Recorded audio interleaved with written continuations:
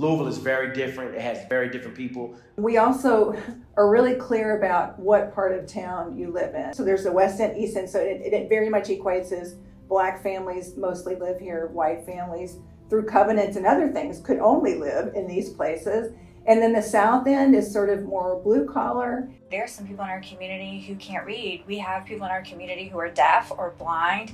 We also have this robust and thriving community of immigrants, refugees, for people who are, are foreign born.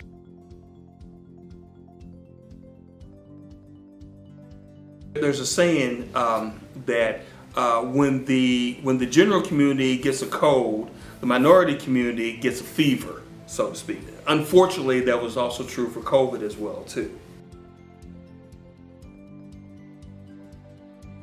There is a huge void in the West End as far as resources um, from food, um, from transportation, um, I would say from adequate health care.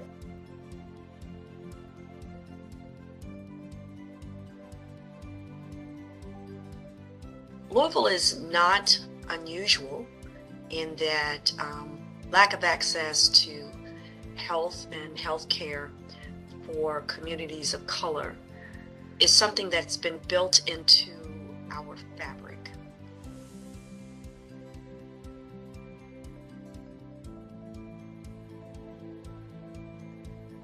People who didn't have access to those things, we want to bring into conversations so that we can learn, so that we can do our work better. And fortunately, we had some incredible um, partners in the community that we were able to just look to and convene and tap into their expertise and their resources um, in helping us do just that.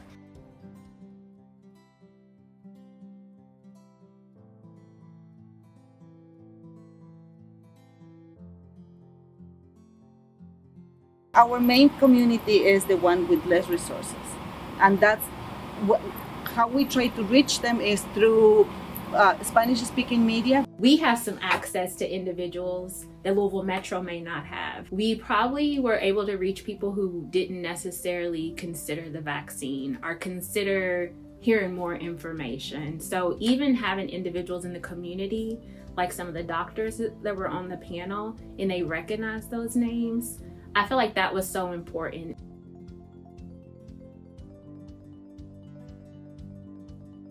The idea of going to the communities where people live and worship um, was a novel idea, but it was the right idea.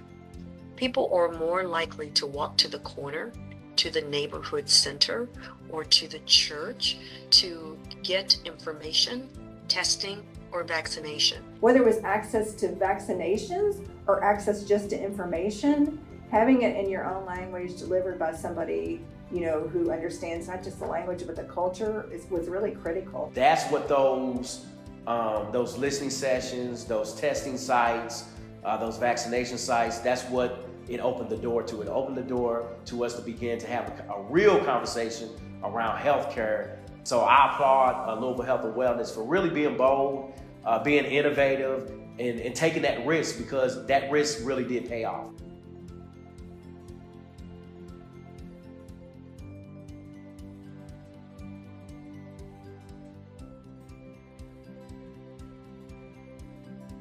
It's a reminder of the beauty, the diversity, the way we're all connected. You can't do it well alone. If one in our community is not doing well, the whole community is not doing well.